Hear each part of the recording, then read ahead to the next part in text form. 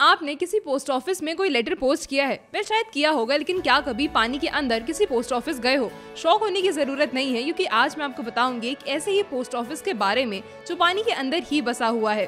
This is the world first underwater post office in Hideaway island, जो की work करता है फॉर रियल ये बना था 2003 में और तब से लोग कोरल लाइफ देखते हुए अपने मैसेजेस पोस्ट करते हैं। अब इसका प्रोसेस काफ़ी सिंपल है। आपको दिया जाएगा एक वाटर प्रूफ पोस्ट कार्ड और साथ ही एक पेन जिससे आप लिख सकते हो अपने मैसेजेस लव्ड वंस के लिए।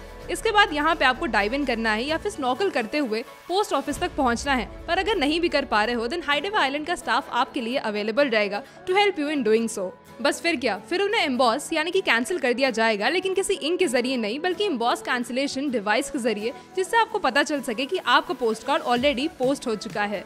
तो अगर आप भी यहाँ जा करके किसी स्पेशल इंसान के लिए कोई मैसेज लिखना चाहते हो then you need to catch a flight to Van then take a boat ride to Mele Bay और तब आपको वहाँ पे दिखेगा ये मेल बॉक्स पर हाँ जाने से पहले सरफेस के ऊपर एक फ्लैग ज़रूर देख लेना, क्योंकि वो डिनोट करता है यहाँ के पोस्ट ऑफ़िस के वर्किंग आवर्स को।